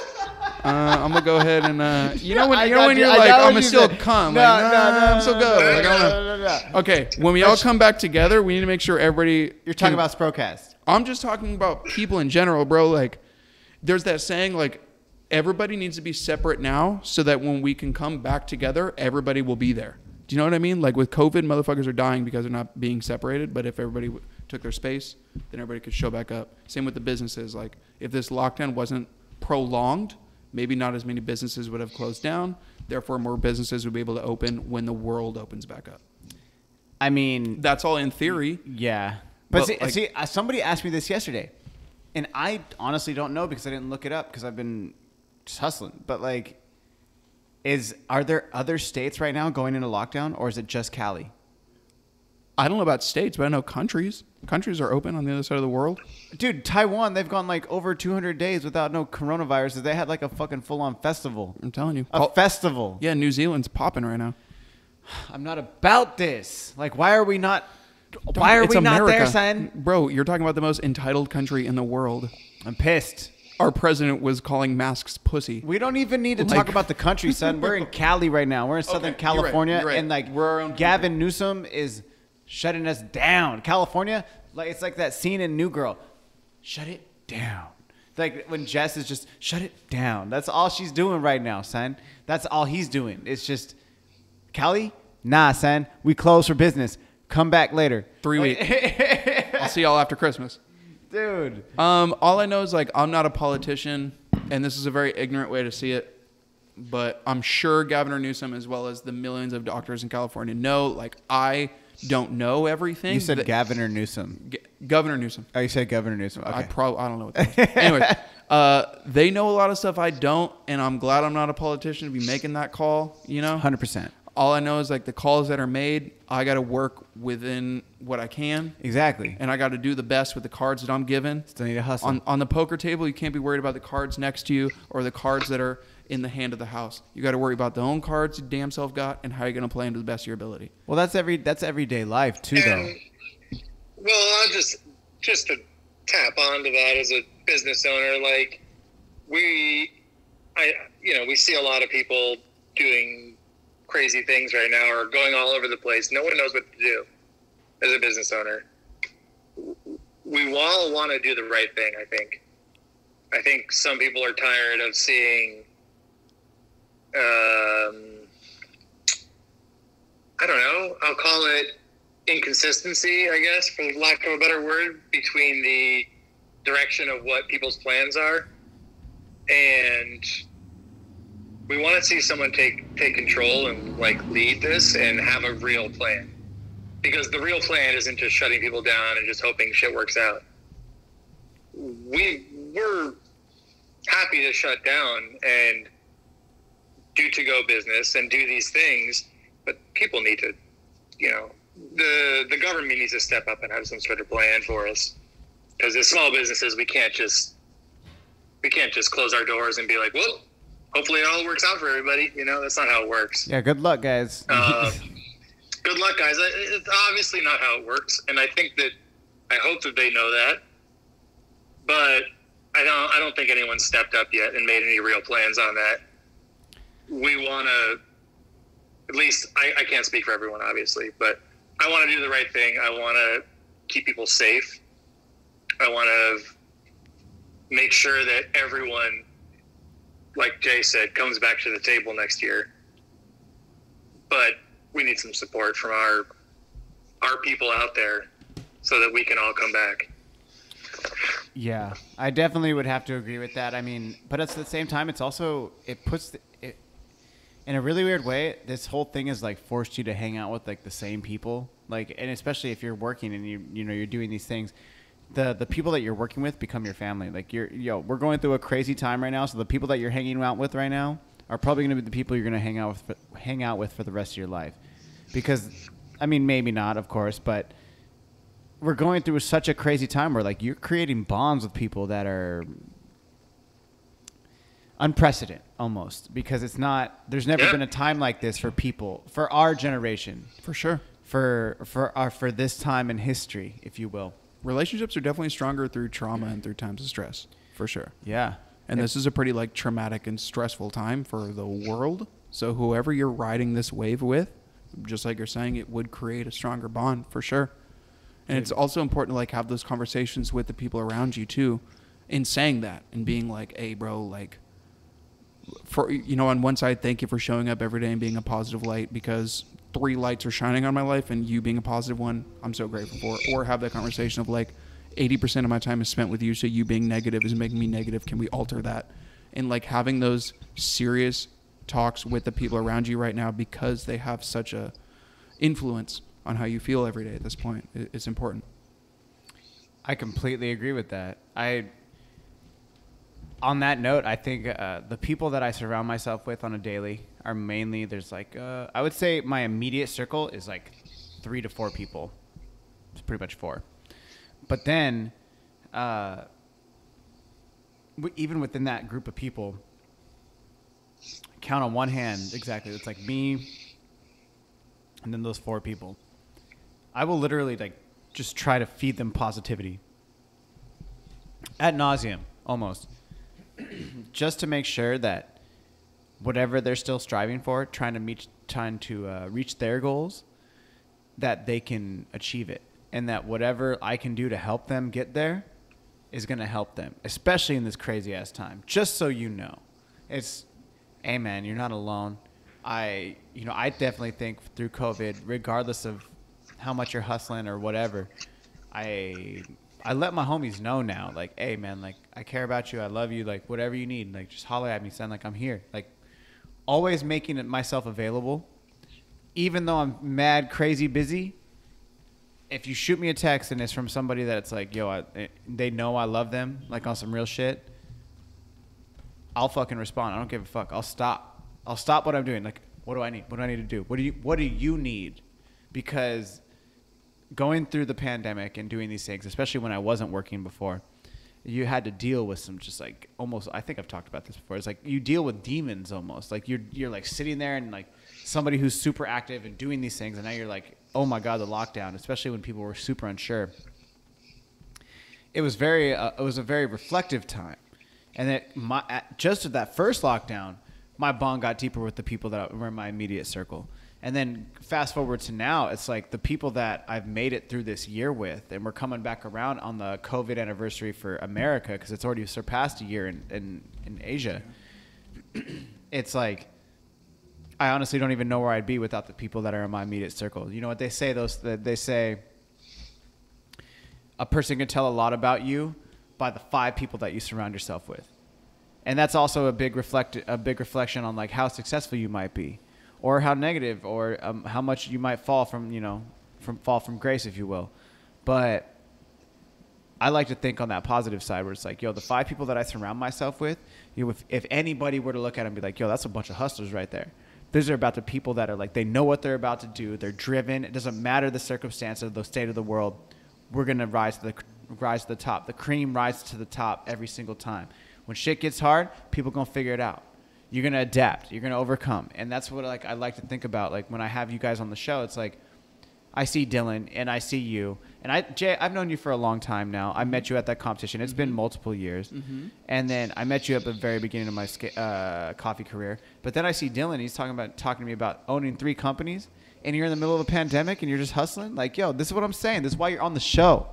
I respect that grind, that hustle, and like, yo, you guys are the cream of the crop, to, for lack of a better term. You guys are rising to the top, because when we do come out on the end of this, it's going to be the- it's it's it, what you said in, in the beginning of the conversation. Taking this time to learn to new do, to learn to uh, to do new things. I was a perfect example of that myself, and not to talk about myself, but like I can contribute to that. Meaning, like I learned how to edit, I learned how to do these things, and I learned how to like really hone a craft that's still developing. It hasn't even been a year yet, and I feel like because I'm just so obsessed with learning things because of what's what the state of the world is, you're forced to do things, and you guys are forced to do these things, but you're killing it and you're grinding.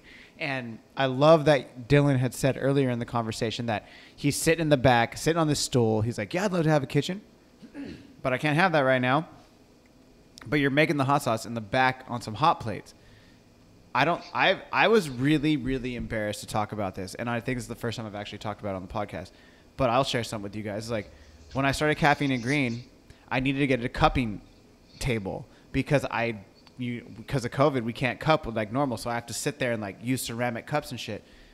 But so I got rid of my bed. I had a queen size bed. I returned it to IKEA. I found out if you had it for less than a year, you get your credit back. So I have a credit Like, IKEA. IKEA's the best. Dude, it's IKEA's the best. It's the best. and like, I gave away my bed, and I bought a seventy dollar cot from REI, and I bought a three inch memory phone, and I put it on top of that, and that's what I sleep on every night because I can break it down, and I can like, I made my entire room an office, and it's a cupping table like Inter American, where like you know you would sit there and you would just try these coffees. I have my desk. I have all the product for caffeine and green, and then I have my Yo, coffee. I've seen it. I've seen it on the. I've seen it on the Instagram. It looks legit. Dude, no, I. I never for- would have known. It does. Dude, no, and Home that's it's the home office, yo. And I got my coffee there. Everything's like super great. It's all health, uh, you know, FDA compliant. Everything's chill. Sure, yeah. But it's like, you're. I swear to God, bro, don't Hey, give me bro, that shit. good, I swear good, to God, bro, bro. yo, You're shit, good. It's caffeine and FDA, grain, baby. yo, FDA. I'm Check mad. this I man, got, OSHA. I got the permit. OSHA, run this I man's got papers. The permit, son. But that's what I'm saying. It's like, I, I love the fact that like you guys are willing to do whatever it, um, whatever it is that you have to do to get where you need to be because that's what I do, and that's why like yo, Hey, like, there's yo, real recognize real, Dylan. there's Yeah. no, yeah, there's no, sh- there's no shame in the grind. Like, this, where are we supposed to be? Like, what, what yardstick are you setting yourself off of when you say those things? Like, who gives a shit? Like, we're here, we're working, we're doing a thing. Like, you can change the world from your garage. You can change the world from your bedroom with your IKEA table. Like, it doesn't fucking matter. Like, we're here doing what we love, and I think that's the important thing. I think everybody's measurement of success is different, and I think in this business, it's easy to look at somebody with six turnkey cafes and say that's success. But for some of us, if I can share a burrito with my guy at the end of the day, and we're sitting there and there's food in both of our bellies, and my dog's got a smile in her face, fuck it, bro, I'm happy. You know what I mean? Well, dude, it's the little thing. It, full circle. It's the little things, It's the yo. little things, it's the little things. There was, Yeah. dude. There's a, um, there was this my homie Zeno. He lives in Portland, Oregon. If you ever hear this, Zeno, shout out to my boy. But we were in New York, and I met him for the first time when I was in New York City, and we were with this dude named Taylor Nowalki. And he was like, "Yo, I gotta go to, I gotta go to work." He was a sober, straight edge guy who was a bartender, and he worked in New York City as a bartender. And I was like, "How you?" Good profit margin I'm on that like, employee. Bro, how do you not drink and you're making these drinks? I don't know. He had a really good thing about mixology. Regardless, we were out skating one day, and I, you know, I'm with these dudes I had just met. And so I like later Taylor, all right, cool. And Zeno's like, yo, G. He's like, I'm from Portland. He's like, where are you from? I was like, yo, I'm from San Diego. And he was like, oh, well, I, I, I'm out here by myself. Do you want to just kick it? And I'm like, yeah, gee, let's kick it. So we end up skating around the city the whole day and then we end up in Brooklyn on across the Williamsburg Bridge, and he was like, "Yo, you want to go do a bridge report?" And I was like, "A bridge report? What the fuck is that?" And he was like, "Yo, on the middle of the Williamsburg Bridge, there's a crossover because it's basically you go one way, you go the other way. It's just like north, south, south, north, whatever. But there is crossovers, but they're like it's a long ass bridge, so you have to cross over. Like you have to go down for a while." But the bridge reports is you get a tall can and then you sit in that little crossover. You could like burn a joint because weed's mad. I don't know about weed now in New York, but at that time, weed was mad illegal in New York, like zero tolerance. So you could like you're on the million, you're on the middle of the Williamsburg Bridge. Ain't no cop out there. You're smoking a joint. You could have a tall can and just kick it and just chill. And that to me is like the definition when I think the little things in life. Like yo, that tall can was like 250. That weed it was bunk because it was New York. Like it wasn't good at the time. And it cost you $20. But it cost me probably more because Yeah. Mm-hmm. even cigs were like twenty bucks over there, man. Like shit was mad overpriced in New York City, but I was so happy at that moment. Like yo, and I think about just little things. I think about like life, and like I always think about that moment when I was sitting there with Zeno, a dude I had literally just met maybe only kicked it with them that day, and we're piecing a joint, drinking tall cans, be like, yo, telling me about where he's from. I'm telling about where he's from. Like I was like, yo, I'm from the Bay Area originally, but I live in San Diego. You whatever. But it's like that shit right there forever affected my life, and it's like when I'm stressing out, I think about that bridge report and like, yo, that moment exactly. And so it's like when I'm putting effort into my coffee, I think about those moments, and it's like, yo, those are like the things I want people to feel, like that, like that nice I mean, you vibe. You feel me? Like, talk talk about a callback, but I mean, like, that's you know, legit. That's what we're talking about. Like, you that that moment, as stupid as it was for your homie, maybe, or it was it was big for him, but it affected you forever. Forever. And those are the moments. Those are the moments that we need to have. Like, that's my green. You know, that's my that's my motivating factor. Is those moments for me. Like those those little things that get you going. Money comes and goes. We'll figure it out. You know, we'll we'll all figure this stuff out. But Dude, uh, Dylan. you know, we obviously we obviously need our base. We need we need to make you know we- need to make enough money to feed our families. But all the other stuff is like, let's let's figure out those moments. Dude, right there, what you said, Dylan, like you said, money comes and goes. My homie Mike Morosco, shout out Mike. He he was the first person who literally, when I met him, he was like this no name filmer, just a stoner skater. We all smoke cigs. We are chilling.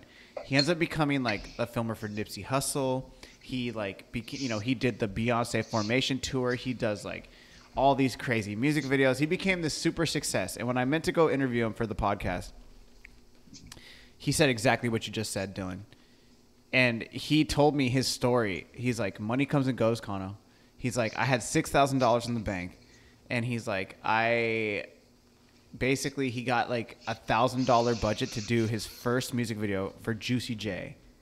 And he says to me, Amazing. Shouts out Juicy J. Dude, God shout damn, out- man. Shut the Oh, fuck up! God, I love Juicy J, man. dude, dude, Ah. dude. I'm. He told me at the end of that shoot, he had a hundred dollars left in. I, I might be like, it's. It was definitely a hundred or a little bit less left in his bank account because he funded it. He's like, yo, you can't do a vid- uh, like a good music video on a thousand dollars. So he took his own personal money, drained his bank account, and then the ne- next thing he said to me, money comes and goes. And as he's telling me this, we're sitting at his house very beautiful house. It's like four stories or something, and it just has all these crazy things from when like we were growing up, and like all these crazy skate videos and all these things. But then he's like this amazingly successful videographer, or cinematographer, owns his own production company now. I dude, I was I used to stress so hard about money. And then he was like, dude, money comes and goes. You'll make it back just as quick as you lost it, but you have to keep going. And it's like, bro, Yeah, I, like ugh. to hear you say that, Dylan, I- it's I- it's just amazing. I love I that. really think that I, I just really think that you know we we obviously get hung up in money. It's we we need it. I'm not gonna like be like some weird person that says I don't need money or something like that. But but we if you if you use that as your measuring stick, you're never gonna get there. Like your green, your your whatever should be that moment on the bridge. That was sick for you, right? oh, 100%. That was that was that was money, and that's how I feel about my interactions with with with customers. That if I if I meet a customer, if I jack someone's day up, and recently this is something new for me. Obviously, is you know we're building a business or building multiple businesses, and having people like Jay and people like that come up behind us is me being you know me offering opportunity for somebody else to grow that's my new thing. Like that's just amazing for me, and that's my my measuring stick on success right now. And you know, we'll we'll be we'll be broke sometimes. We won't be broke sometimes. Hopefully, it's not forever. I'd love to not have to think about money sometime. That'd be super cool. But it's never going to be my like. I don't want to make it like like that, but it's just it's, it's never going to be my like. It's never going to be my you know my measuring stick, because I don't know I don't know how many super rich people anyone's ever ever any of us have ever talked to, but I've talked to people who I thought were there. I've talked to people who I thought made it, and they bitch about money. Right? They're like, "Damn, I got this. I got to deal with this. I got to deal with this thing, these bills." You know, not nobody that's super rich uh, on my end, but like people that I thought had, were doing well in their lives, and they just worried about money. Like we're all going to worry about it. Like we might as well have something else that we're we're striving for, and money should be a really cool outcome of that. Like I'm not allergic to it. I want it. Of course. We all we all want to be we all want to be successful, monetarily successful, but it shouldn't be the focus because you're never going to make it if that's the focus. You get focus on your passions, focus on you know developing people, doing those kind of things. That's that's what's going to be the green for me. I, I think that those people that say like money isn't shit, money's not important, like tell it to a parent, bro. Like you're a dickhead if you say that. Like for real. I'm watching my boss sit here with two kids, and I'm gonna tell him like money's not important. Like fuck that shit. Like Money's important. money's Oh, money's I fucking, I important. fucking need money, man. I need money. yeah, dude. You need to get the green, for son. sure. You need to get that green. Hey, like at the end of the day, money is literally what puts food in our belly. The second you don't have money, you probably don't have food, and there is ways to mitigate that situation. But generally speaking, if you have money, you have food. But making money like your driving factor, and like if I work harder today, I'll get that extra five dollars, and if you don't get that five dollars, you're mad disappointed. Like that whole stress is kind of what I want to avoid in this. Like I understand I work in coffee, so if I want to be a millionaire, um, I need to make some better decisions should do something else. career wise. No, not even. No, you're already made a better career choice, son. You're a roaster now. So, yo, like roasting Oh, big already bucks. is. No, no, no. I'm just saying, like roasting is now on the path to making more paper. That's you're on the right path. Just keep going. I- the I next know thing that, is like- to own a business. For sure. uh, I know that if I'm sitting here not doing shit, I ain't gonna make shit. And if I'm sitting here doing five things, one of those gonna hit, and I'll be able to feed myself at the end of the night through that. And uh, and again, circling back to the harder I work, the more Dylan eats, the more Natalie eats, the more I eat, the more you eat, yeah, more everybody eats. my future kids eat and like i grew up you know my family really didn't have money my parents were working sometimes seven days a week and to watch them come home exhausted just to put food in my belly to watch my parents work their fucking ass off all year so that on my birthday i could have this cake or or whatever it is like i grew up an only child and to think that my parents worked that hard to support one human being then to watch my boss do it times two is again very motivating and I'm 26 years old. You know what I mean? Like I'm not far from parenthood myself, I'm sure. And so all of this is like I'm looking to set myself up five years from now, ten years from now, looking to set up my family, looking to set up my friends. And again, man, waking up every day knowing that like me getting my money is my friends and family getting their money is one of the biggest motivations for me. I, dude, I love that. Like, fuck yeah, keep going, bro. Like, if yo, I if yo, I came to this podcast super fucked up and not caring at all, like Compa, Clydesdale aren't going to benefit. You're not going to fucking benefit. I'd be super bummed. I'd, That's not- I'd want you to get fucked up with me. That's why. Oh, we're getting fucked up after this. No, um, taking this seriously and showing up and like trying and putting an effort and taking you seriously, taking your brand and your podcast seriously. Hopefully, listeners will come listen to this and be like, "This shit's fire. I should listen to four more episodes because clearly his guests take this seriously." Yeah. you're gonna benefit. Yeah, hundred percent. because I took this seriously. People might go to compacoffeeroasters.com and they might check out our website there. They might go to at. Hawth- at Hawthorn Coffee on Instagram, at Baby Clydesdale on Instagram. Oh. Check me out. Give me a follow. Give me a like. Smash that follow button. Um, Plug, plug. no, but Smash, smash that like and subscribe button. But just remember, like, to you, it might just be your fucking day job. It might just be your hobby. but what that turns into one day, you know what I mean? You take yourself seriously at what you love. Look at every professional skateboarder ever Yeah. and tell them if they didn't take that seriously, they wouldn't be where they are today. 100%. And like, just have fun with what you do, take it seriously, put forth some effort. Well, I think, I mean, and just to bring it back to, I want to tie it all together right there is like what Dylan said about it's not about the money.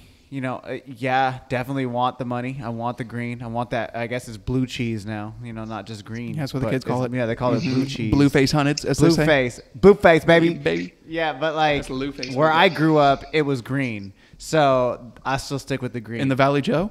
In the Valley, Valley Joe, nah, Fremont, son, East Bay, Oh, nickel dime. bad. Don't forget, son. My bad, my No, bad. No, nickel dime. But, but I grew up right outside of Oakland. Come on, G, we oh, talked Oh, I about thought- this. I thought you grew up in the Raider. Marin Headlands. Nah, hell nah. I ain't no North Bay. I'm like, I feel madly insulted right now. You didn't grow up in the Marin Headlands? Nah, son. East Bay, nickel dime. There ain't no North Bay in this blood. Come on now. That's how you know I know nothing about the Okay, Bay. Okay, we like, have to oh. just we have to just like skip over that conversation. I might just have to edit that out. I'm the right one in now. the I'm Raider mad hoodie. offended. I know. I'm What the is one in that? the Raider You're talking to me about the North Bay? I'm like East Bay.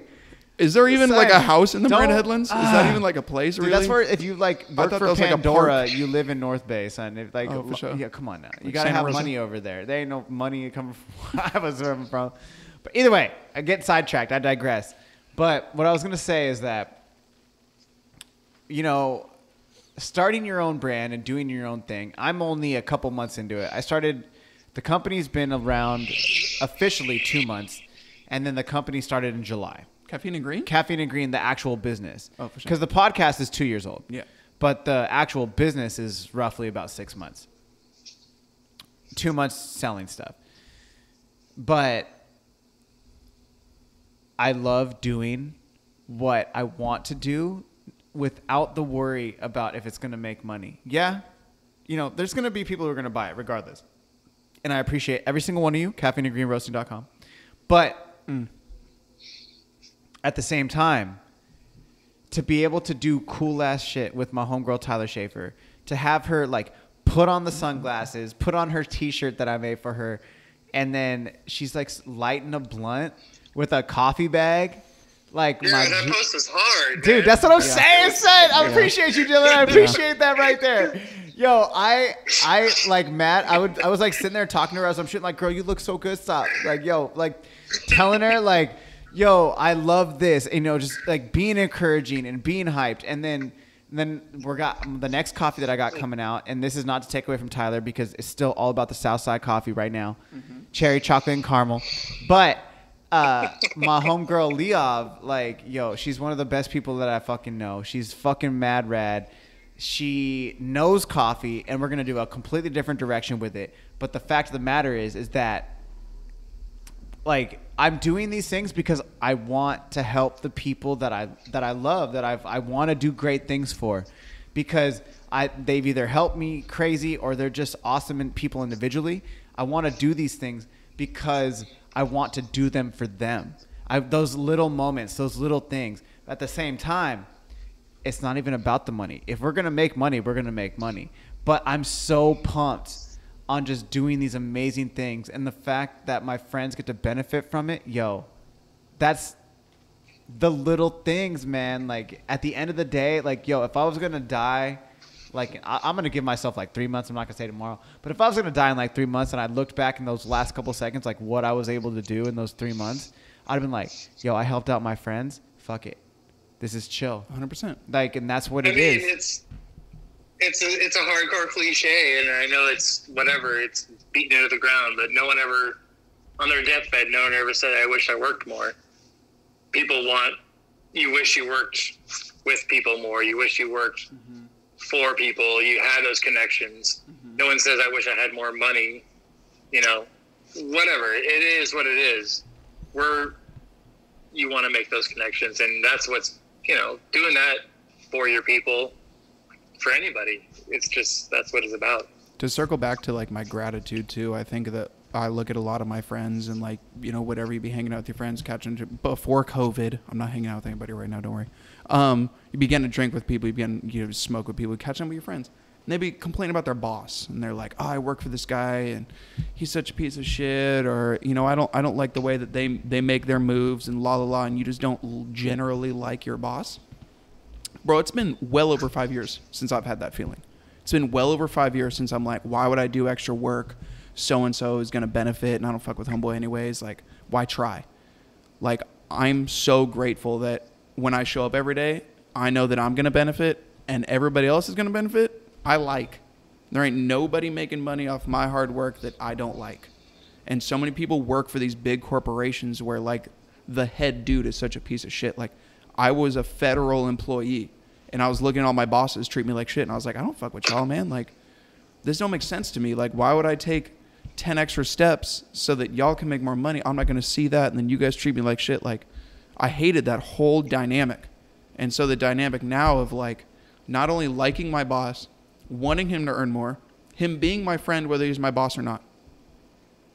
I am going to use that in my future so that when I'm whatever quote unquote boss or business owner whatever fucking word you want to use for it, I know that the people I hire or the people I bring on my team, like, I know how to treat them because I know what that looks like. I know what it looks like to be treated unfairly, and I know what it is like to be treated fairly. And luckily enough, I'm riding through a pandemic with the people that have treated me right every day for the past five years, and uh, it's a big motivating factor.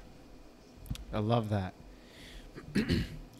Boys, we've done an hour 33. Holy sh!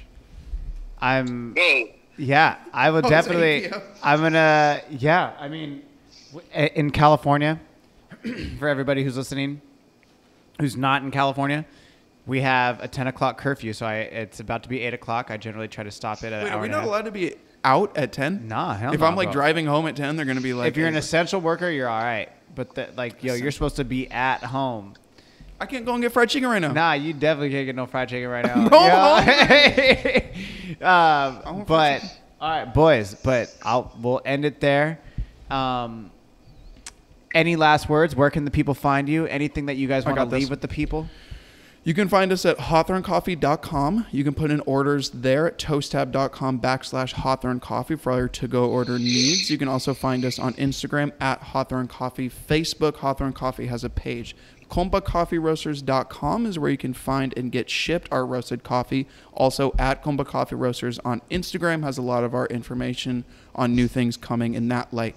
Baby Clydesdale can be bought at Hawthorn Coffee. Can also be found at Baby Clydesdale on Instagram. My name is at Big JSD. You can find me on Instagram. Thank you. I'm out. Jesus. Hey, that was unread they too, might y'all. have to. That's They not a might have script. to. They might have to slow that one down so That's they get that's everything. pure passion, y'all. That's Yo. what that was. Dylan, what about Yo, you? Kano, Kano, thank you for having us. You know, we love what you do. We love supporting our friends and people that are just crushing it in their in their industries, and you know, you're doing it. So, thank you for having us. Thank you for chatting with us for an hour and a half, man. That's that's dope, and uh, you know, we love you. Thank you. Yeah, appreciate the opportunity Dude. for putting our name out there too, man. Thank My you. guys, you, for Jay, you already know, G. Dylan, I'm so thankful, bro. Like, I really appreciate you coming on, and also, I want to tell you, I know, I don't know if Jay told you, but that that cold brew that you or the flash brew that you gave me, the uh, when we were roasting together at the roastery the other day, Yeah, yeah. dude, I was drinking it and I didn't even see Jay pulled up next to me. I shit you not, this is no lie. he, he pulled up next to me and I was drinking it. In it traffic, yep. in traffic and I like looked over and he was there and I was like I was like yo son. I was like did you roast this? He's like yeah. I was like yo this is mad good. I was like it's hella floral like giving him like a coffee like a uh, uh, what what the fuck it's like a like a critique but like screaming it from my car and I was Hell like yeah. this is so good. Hell so I just want to say thank you again for that that flash brew. It was so good. And um, Yeah. I, Jay, uh, Jay, Dylan, guys, I love so much the fact that you guys are crushing it, that you guys are surviving, that you're very open about how much it sucks more than it actually rules. But I love that you double down. I love you stay true to your business. And I love the fact that it's the small things that we can relate on. So, guys, the, the gratitude is definitely, I appreciate your gratitude, but the gratitude is definitely like very reciprocated on the other side of this table. Um, and it's not, this will We not be the all, last. uh, yeah, we're all we're all more similar than we are different. Let's Mm-hmm. you know we're we're all here doing it the same same way. And if anybody Let's listening it. to this, anybody listening to this that has any questions on anything or just wants to talk to other business owners, wants to talk coffee, hot sauce, message us on any of the aforementioned Instagrams. If you see a website, you see an email, shoot us anything with any questions. You just want to talk to somebody in the business, please, man. We're all here for each other, and let's keep that going. Everybody eating. Everybody eating. That's what I'm saying. And I'm eating a lot. I want fried chicken, bro. I want shrimp and fried chicken. All right. All right, guys. Dylan, Jay, thank you guys again. Thank you. All right. Peace. Thank you, Kano. Peace. Yes, thank you so much, guys. Everybody's eating. I love that. Thank you, Jay. Thank you so much, Dylan. I appreciate you guys coming on and just being a part of the show. And like always, guys, I would like to say thank you all so much to all you guys who are listening around the world who continue to support Caffeine and Green every week. I appreciate you guys so much. South America, Europe, Asia, Australia, United States. I see you guys. I appreciate you guys. Head over to caffeineandgreenroasting.com. Check out some coffee as well. The Issa blend, the Southside coffee from my homegirl Tyler Schaefer, that pro coffee bag. That's right. And guys, I know it's getting a little crazy out there, so please, you know, take care of each other. Be safe. Wear your mask. Just be nicer. It's the holidays, yo. I will see you guys next week. Peace.